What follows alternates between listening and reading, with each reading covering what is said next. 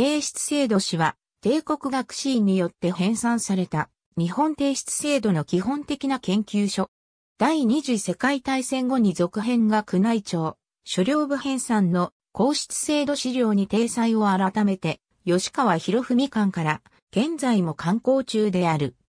1920年1月に皇室より帝国学士院に対して学術奨励を目的として1万円が可視された。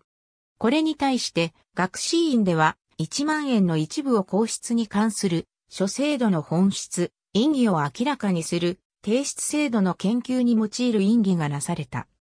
そこで、岡野慶次郎、三上三次、美延達吉を担当委員、和田秀松、五味金平、山本信也を調査嘱託員として調査嘱託員のもとに歴史学者を結集させ資料の採集、編纂などの研究事業に当たることになった。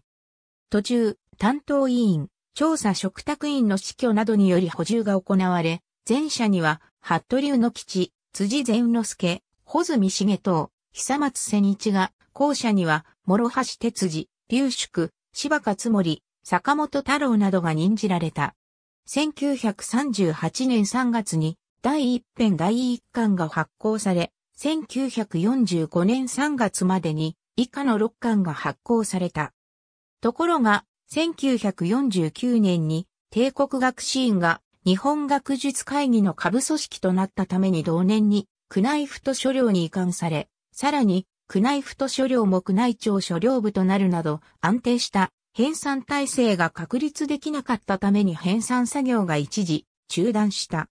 その後、1978年に皇室制度資料と名称を改めて刊行が再開された。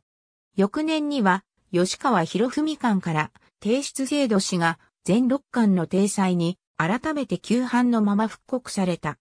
皇室制度資料は2011年までに、大乗天皇編3冊、摂政編2冊、皇族編4冊、皇妃編5冊、犠牲誕生編4冊、犠牲青年式編2冊が刊行されている。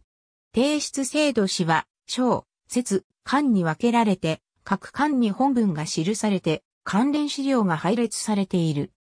時代的な制約はあるものの、厳密にして交渉が尽くされた本文と豊富な資料収集によって今日まで皇室の歴史的な研究を行う上での基本的な文献とされている。これは皇室制度資料にも継承されている。ありがとうございます。